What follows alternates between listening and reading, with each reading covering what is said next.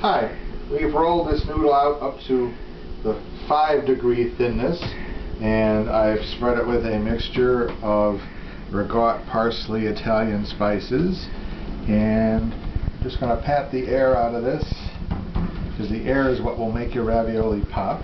This is about a quarter of an inch thick layer of filling and then we're going to take our checkered rolling pin and line it up to what will be give us the most ravioli.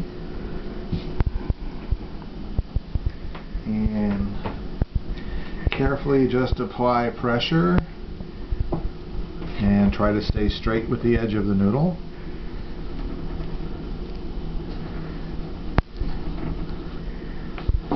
And then you cut it apart.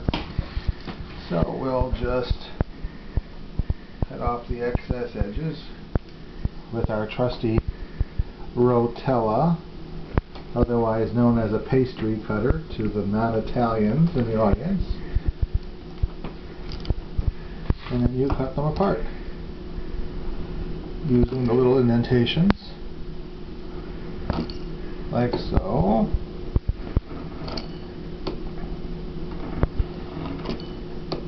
The ravioli rolling pin gives you nice, nice, even ravioli. This is so easy.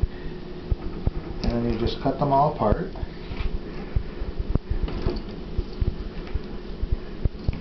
And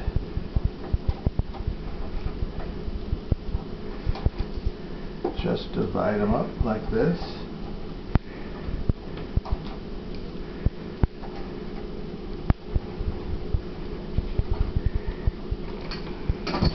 And I put them on a bed of cornmeal because you gotta let them dry. So voila, while you were watching I just made 2, 3, 4, 5, 6, 7, 8, 32 ravioli. Ta-da!